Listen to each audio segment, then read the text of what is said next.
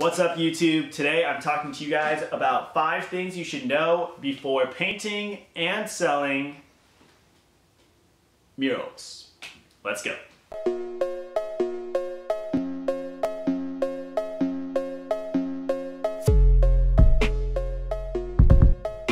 Hey guys, thanks so much for coming back to the channel. If it's your first time here, my name is Derek Diza. I am the founder and one of the muralists in the collective Disorganized Depictions. We are a muralist collective based in Southern California, comprised of some of the best muralists all over the state. Our mission is to empower artists like yourselves across the world, as well as give back to social causes that we genuinely care about. To get right into it, today I'm going to teach you guys what you guys need to paint and sell murals. So the first thing I want to cover today is everything that you need to actually create the mural itself. Assuming that you are an artist, you already know that painting can be messy. So the first thing you need is a drop cloth. You guys are gonna wanna make sure that you guys have these because paint will get everywhere when you're painting, especially if it's your first time. I recommend getting a canvas drop cloth because you can use it over and over. You have less of a carbon footprint and you don't have to keep going back to the store to buy drop cloths. I think I got this one for like 25 bucks. I can also just stick this in the washer and dryer just to make things really easy and keep recycling it. You're gonna need a bunch of other materials as well. You guys are gonna want rollers, big brushes, little brushes, paint. For paint, you can either use acrylics or wall paints. Acrylics actually hold up really well against weather. Tape, I actually typically use frog tape. It's this green tape that has patented technology that actually locks out paint and makes your lines extra, extra clean so nothing ever bleeds. But if you can't find frog tape, regular painter's tape works too. The tape is going to be used to make clean lines and also tape around the edges of the wall. That way you're not getting paint on other walls or on the floor. You'll need a paint tray, obviously, and cups or a bucket for your water. You guys can also varnish your mural, but it's not required, and a lot of people typically tend to use clear coat, but I don't really like the way clear coat looks because it gives the mural like a different finish that almost makes it look artificial. But everyone's kind of got a different preference for varnish. You also are going to want probably a ladder. Sometimes you might actually need scaffolding or a scissor lift, but I'll go into that a little bit later. I also recommend having chalk or pencil to do the outline before you start to paint. I also recommend having a projector if you can get your hands on one, but it's not a big deal if you don't have a projector. It also proves beneficial sometimes, guys, to have a ruler or some sort of level. That way you can make sure that your lines are straight. The second thing you need to know before painting a mural is how to actually get the mural on the wall. Now, there's a couple different methods of going about this, and I think projecting is definitely the easiest and the fastest. At the end of the day, as a muralist, you need to be able to work relatively quickly because time is money. For murals, you're not getting paid hourly, you're usually setting a flat fee, and when you set the flat fee, you have to get the job done in a time frame to where it makes sense and you're getting paid a high hourly wage. But with that being said, you want to make sure your murals look spot on and crisp and make them look as best as you can because you're going to probably be using those for your portfolio and you're probably going to get referral clients from the clients that you're working with. But like I said, I think projecting is probably the easiest way to get your image on the wall. If you're not doing projection, you can also grid the wall. Essentially, you would just draw squares across the wall and then impose squares over the photo that you are planning on painting on the wall and just make sure that the squares all correspond with each other. It's pretty hard to freehand things because you really need to keep in mind that the mural needs to look good from far away as well. And when you're first starting murals, if you don't have a grid or a projector, you're gonna have to be walking back and forth and back and forth to make sure it looks good if you're just doing freehand. I actually recommend that you guys kind of check back and forth when you're painting the mural anyways to make sure that it does look good from far away. You also have the method of the doodle grid. Now personally, I haven't done a doodle grid myself, but I know some people in our collective that have used the doodle grid method. Essentially what you do is you draw doodles all over the wall before you paint on it. You take a picture of the wall with the doodles, and then you impose your image over the wall and turn down the opacity so you can see where different parts of your painting would be in correspondence to those symbols. Those are probably going to be the easiest methods of getting your mural on the wall, assuming you don't have a bunch of capital to use for a method called burning, but I'm not going to really go into that very much in this video.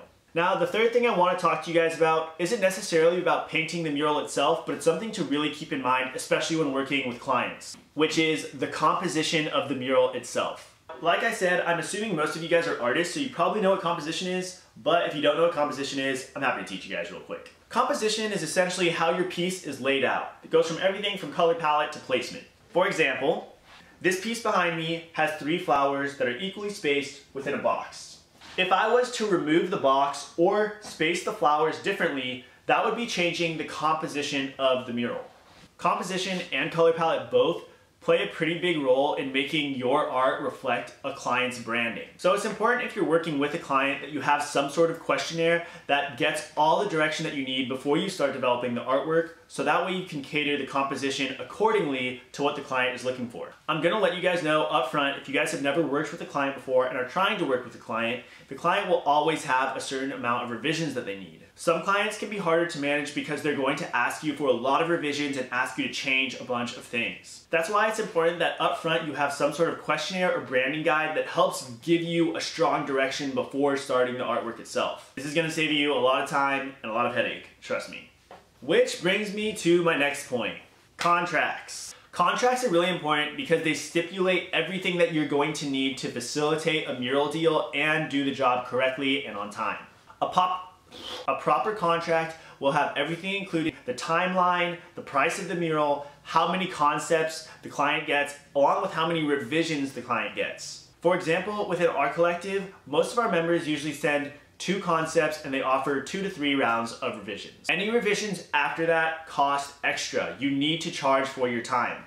If you don't charge for your time, clients will get used to taking advantage of you. It's really easy to fall into this trap as a beginning muralist. Your contract also needs to discuss who's paying for what. If you need scaffolding or some sort of scissor lift to get you really high, that stuff ain't cheap. The client should be the one providing that or it needs to be factored into the price. If you need scaffolding or some sort of scissor lift, I recommend charging two times the amount of the project, especially when you're first starting. One of the most important things in your contract is that you are writing that you are going to take a 50% upfront deposit. 50% upfront deposit. Get that deposit.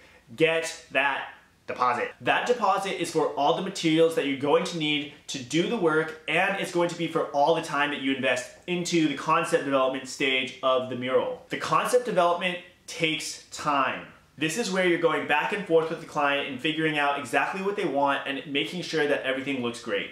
I've had clients where sometimes the concept development takes two to three times longer than painting the mural itself. That's why it's really important to have these dates and deadlines in your contract. For example, the concept developments for XYZ client is going to be due in one and a half weeks from today.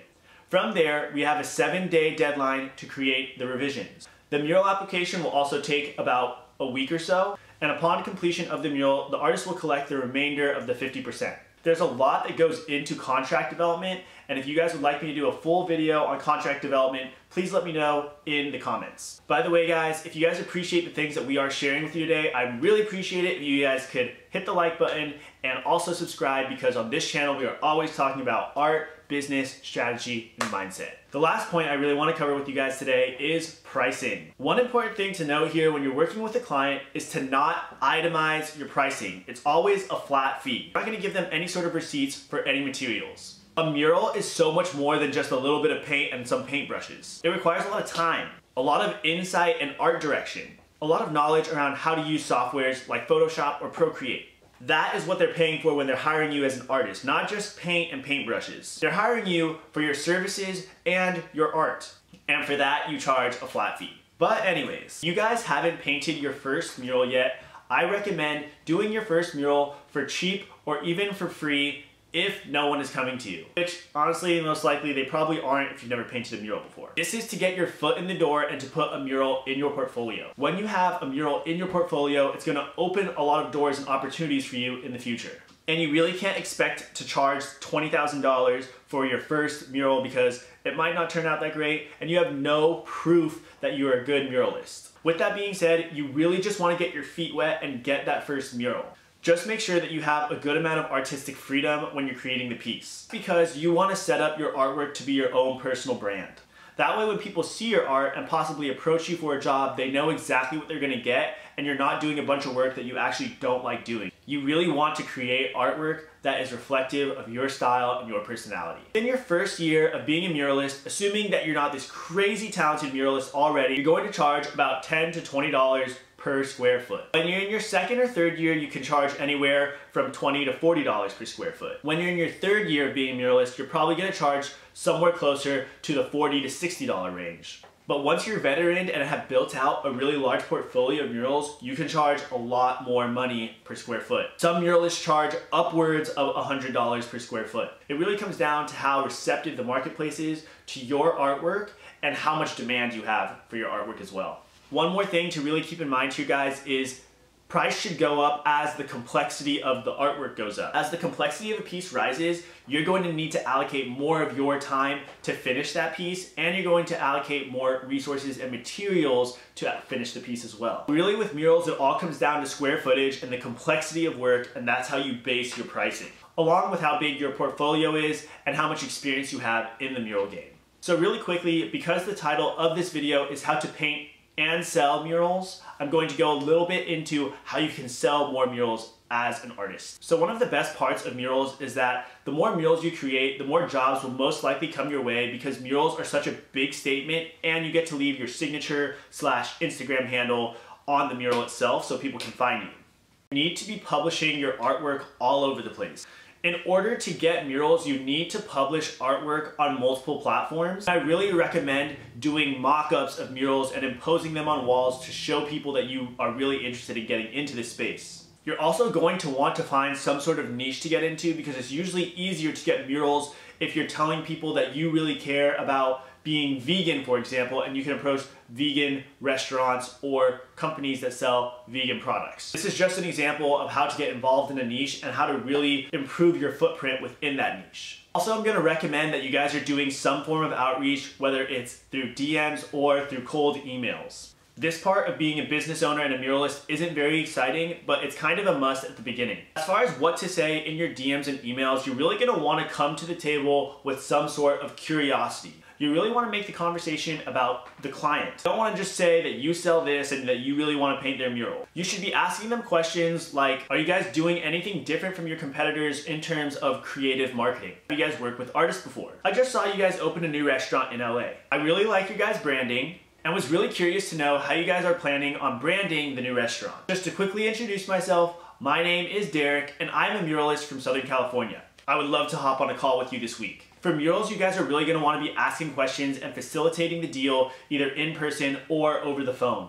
It's really easy for people to just not respond to what you're saying via email or DM. So you really want to get them on that call or meet with them in person so you can really start establishing a proper relationship with that person before hopefully painting a mural for them. I really appreciate your guys' time today and hope that you guys get to paint and sell some murals. Stay inspired, stay creative. See you guys next video.